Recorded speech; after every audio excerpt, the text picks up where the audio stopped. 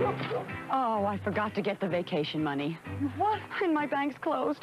Oh, I forgot to transfer money from my savings and my bank's closed. Well, I wish I could borrow some extra money, but my bank's closed.